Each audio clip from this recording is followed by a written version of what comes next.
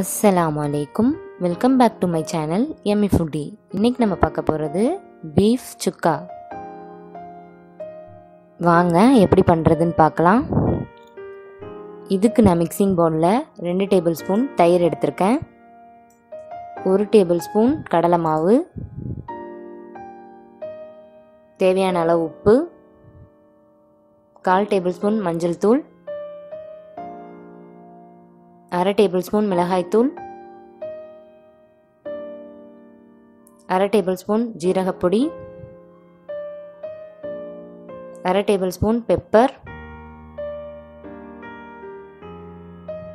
ரெண்டு table spoon மல்லிப்பொடி.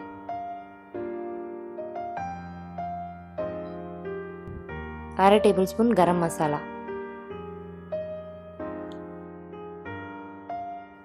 ஒரு பாதி லெமனை ஸ்க்வீஸ் பண்ணி விட்டுருக்கேன்.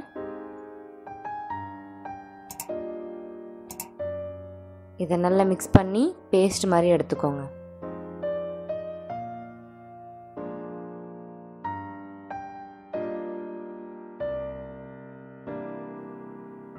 பீஃப் வந்துட்டு நான் மஞ்சள் தூள் மிளகாய் தூள் உப்பு இஞ்சி பூண்டு விழுது எல்லாமே போட்டு விசில் போட்டிருந்தேன் குக்கரில் ஒரு நாலு விசிலுக்கு அப்புறம் எடுத்திருக்கேன்.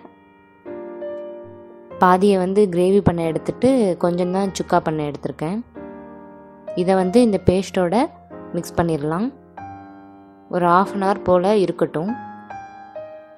அதுக்கப்புறம் ஒரு பேனில் பட்டரை ஹீட் பண்ணிக்கலாம். பட்டர் இல்லை அப்படின்னா நம்ம வந்து தேங்காய் எண்ணெய் யூஸ் பண்ணிக்கலாம். அது இல்லைன்னா நார்மல் குக்கிங் ஆயில் கூட ஓகே தான். இப்போது நம்ம பீஃபை இதில் போட்டுடலாம்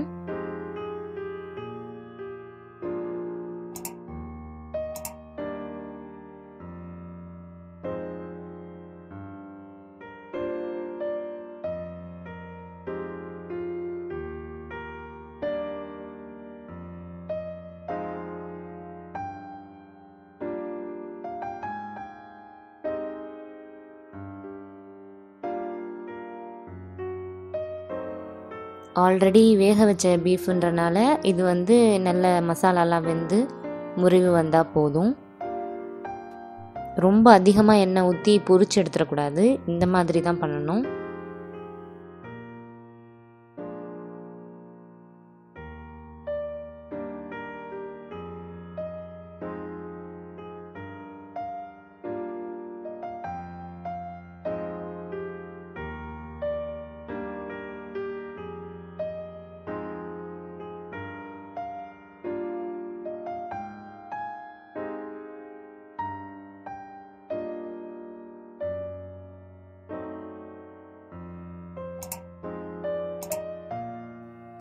கடைசியாக கொஞ்சம் ஃப்ரெஷ் கருவேப்பிலையை இதில் போட்டுக்கலாம்.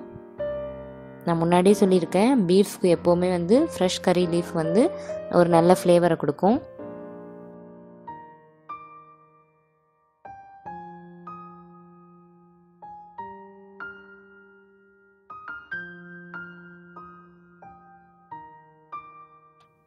அவ்வளோதான் நம்மளுடைய எம்மி பீஃப் சுக்கா ரெடி இந்த வீடியோ உங்களுக்கு பிடிச்சிருந்தா லைக் பண்ணுங்கள் ஷேர் பண்ணுங்கள் சப்ஸ்கிரைப் பண்ணுங்கள் அப்படியே அந்த பெல் ஐக்கனையும் கிளிக் பண்ணுங்கள் அஸ்லாம் வலைக்கும்